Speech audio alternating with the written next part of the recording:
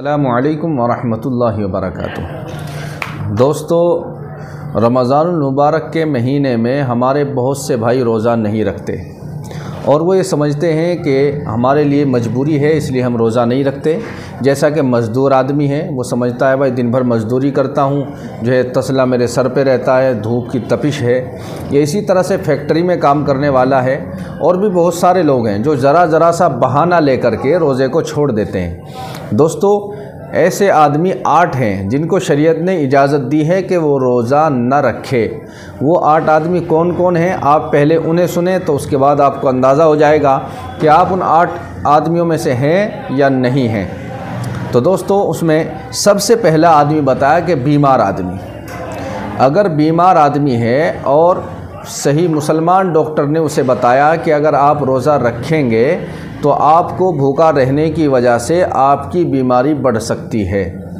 آپ کی بیماری بڑھ جائے گی، آپ کی جان کو خطرہ ہو جائے گا۔ اس لیے آپ روزہ نہ رکھیں۔ وہ مسلمان ڈاکٹر ہے، صحیح ڈاکٹر نے جو ہے، دیندار ڈاکٹر نے آپ کو بتایا ہے۔ تو دوستو، شریعت نے اجازت دی ہے ایسے آدمی کو کہ وہ روزہ نہ رکھے۔ جب وہ صحت مند ہو جائے، صحیح ہو جائے، اس کے بعد جو ہے، اس کی قضا کر لیں تو یہ نمبر ایک۔ اسی طرح سے نمبر دو، حاملہ عورت۔ جو عورت حاملہ ہے پریگنیٹ ہے، تو اسے شریعت نے اجازت دی ہے۔ جسے ڈاکٹر نے یہ بول رہی ہو کہ اگر آپ روزہ رکھیں گے تو آپ کے بھوکا رہنے کی وجہ سے بچے کو غذا نہیں مل پائے گی، تو بچے کی جو ہے جان کو خطرہ ہے۔ اس لیے آپ روزہ نہ رکھیں۔ تو حاملہ عورت کو، ایسی عورت کو بھی شریعت نے اجازت دی ہے کہ وہ روزہ نہ رکھے، بعد میں اس کی قضا کر لیں اسی طرح سے تیسرا آدمی ہے دودھ پلانے والی عورتیں۔ پہلے زمانے کے اندر ایسی عورتیں ہوتی تھیں جو دودھ پلانے والی ہوتی تھی، بچوں کو جیسے اس دور میں جو ہے بھینسوں کو پال پہ دیا جاتا ہے۔ پہلے زمانے میں جو شہر کے مالدار لوگ ہوتے تھے، وہ اپنے بچوں کو گاؤں دیہات میں عورتوں کو دے دیتے تھے۔ پالنے کے لیے تو وہ وہاں پلتے بڑھتے تھے، تو وہ انہیں دودھ پلاتی تھی اور اس کے بدلے میں کچھ معاوضہ وغیرہ لیتی تھی۔ تو دوستو، اس زمانے میں ایسا نہیں ہے۔ یا بہت سی عورتیں ایسی ہیں کہ اگر وہ روزہ رکھتی ہے تو دودھ نہیں اترتا۔ پھر بچہ جو ہے بھوکا رہتا ہے، جس کی وجہ سے بچے کی جان کو خطرہ ہے۔ تو ایسی مجبوری کی حالت میں وہ عورتیں روزہ نہیں رکھ سکتی۔ ہاں بعد میں اس کی قضا کرنی پڑے گی۔ اسی طرح سے چوتھی عورت ہے، حیض و نفاس والی عورتیں۔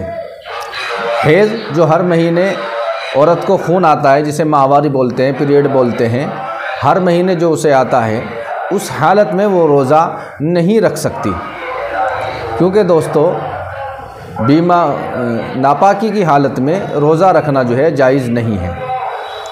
یہ جو میں نے اوپر آدمی بتائے ہیں، بیمار آدمی ہے حاملہ عورت ہے، دودھ پلانے والی عورت ہے، انہیں شریعت نے اجازت دی ہے کہ یہ روزہ نہ رکھیں۔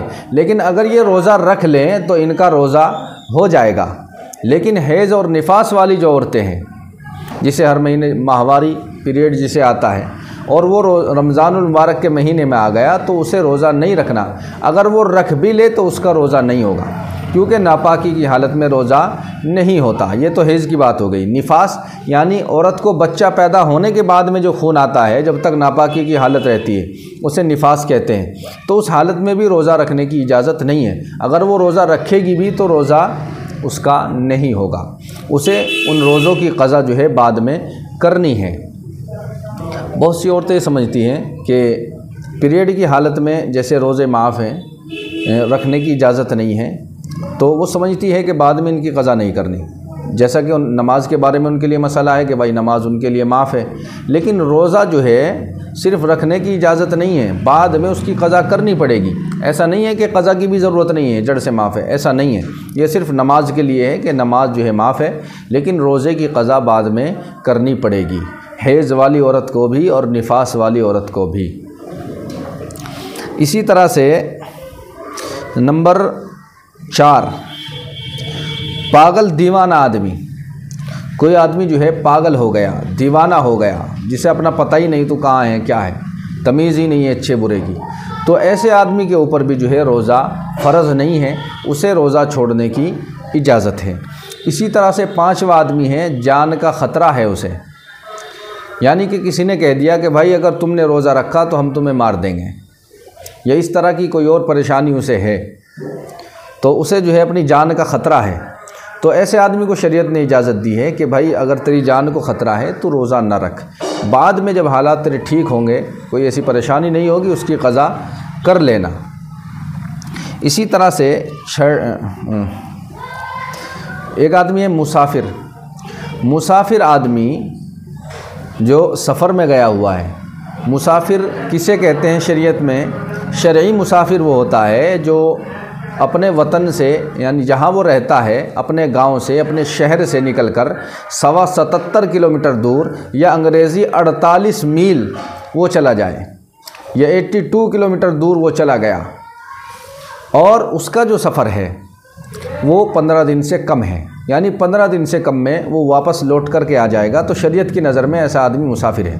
تو شریعت کہتی ہے کہ بھائی تو سفر میں جائے گا۔ سفر میں جو ہے پریشانی ویسے ہی رہتی ہے۔ تو تو روزہ نہ رکھ۔ تیرے لیے روزہ چھوڑنے کی اجازت ہے، لیکن بعد میں قضا کرنی پڑے گی۔ لیکن شریعت کہتی ہے کہ اگر تو رکھ سکتا ہے، تجھے لگ رہا بھائی مجھے کوئی دقت نہیں ہوگی۔ یا میں رستے جس دن میں سفر میں رہوں گا، اس دن نہیں رکھوں گا، جب میں وہاں پہنچ جاؤں گا، چار دن، پانچ دن رہوں گا یعنی پندرہ دن سے کم رہوں گا، تو پھر روزہ رکھ لوں گا۔ تو رکھنے کی اجازت ہے، اگر وہ رکھنا چاہے، لیکن شریعت نے چھوڑنے کی بھی اجازت دی ہے کہ اگر کوئی پریشانی آتی ہو، تو آپ جو ہے بعد میں رکھ سکتے ہیں۔ تو دوستو، یہ چیزیں میں نے جو بتائی ہے یہ کل ملا کر جو ہے آٹھ ہو گئی۔ یہ آٹھ لوگ ایسے ہیں جن کو روزہ چھوڑنے کی اجازت شریعت نے دی ہے۔ اب آپ سمجھ لیں جو ریڈی والے، ٹھیلے والے، مزدوری پر جانے والے، فیکٹری میں کام کرنے والے، جو ذرا ذرا سے بہانہ لے کر اپنا روزہ چھوڑ رہے ہیں۔ تو دوستو، وہ سمجھ لے کہ ان کا، انہیں جو ہے روزہ چھوڑنے کی اجازت نہیں ہے۔ وہ روزہ رکھیں، روزہ نہیں رکھیں گے تو گناہ گار ہوں گے۔ اور دوستو، یاد رکھیں، ایک روزہ اگر آدمی چھوڑ دے اور اس کے بدلے میں زندگی بھر روزہ رکھتا رہے۔ تو دوستو، اس روزے کے برابر ثواب نہیں مل سکتا، اس روزے کا حق ادا نہیں ہو سکتا جو رمضان المبارک کا روزہ آپ نے چھوڑا ہے۔ تو آپ اس سے اندازہ لگا لیں کہ روزہ کتنی جو ہے قیمتی چیز ہے اور اس کا چھوڑنے کا کتنا بڑا گناہ ہوگا۔ اللہ حفاظت فرمائے، اس وقت تو دوستو، بڑے بڑے اچھے اچھے نوجوان اٹھے کھٹے جو ہر طرح سے مضبوط ہیں لیکن دوستو روزہ نہیں رکھتے۔ روزہ چھوڑنا ایک فیشن ہو گیا، شرم لحاظ ختم ہو گئے بالکل۔ اللہ اعلان جو ہے سڑکوں پر کھا رہے ہیں۔ پہلے زمانے میں ایسا ہوتا تھا کہ جو غیر مسلم ہے وہ بھی مسلمانوں کے سامنے نہیں کھاتا تھا کہ بھائی ان کا روزہ ہے۔ وہ بھی ادب احترام کرتا تھا، لیکن آج مسلمان کا یہ حال ہے کہ وہ اللہ اعلان جو ہے کھاتا ہے۔ اللہ اعلان گھروں کے اندر جسے جو ہے دھواں نکل رہا ہے، کھانا بن رہا ہے سٹیاں لگ رہی ہے۔ دوستو شرم کرو، آج حالات کیا ہیں ملک کے اور ہم جو ہے کہاں جا رہے ہیں؟ اس لیے دوستو، اس مبارک مہینے کی قدر کرو اور روزہ رکھو۔ نہ جانے اگلے سال ہمیں مبارک مہینہ ملے گا یا نہیں ملے گا۔ بعد میں پچھتاؤ گے اور پچھتانے سے کوئی فائدہ نہیں ہوگا۔ دوستو، امید کرتا ہوں کہ ویڈیو اچھی لگی ہوگی۔ ویڈیو اچھی لگی ہے تو لائک اور شیئر ضرور کر دیں۔ چینل پر نہیں ہے تو سبسکرائب کر لیں تاکہ آنے والی ویڈیو کا نوٹیفیکیشن آپ کو ملتا رہے۔ آئیے چلتے ہیں پھر ملاقات ہوگی اگلی ویڈیو میں۔ السلام علیکم ورحمۃ اللہ وبرکاتہ۔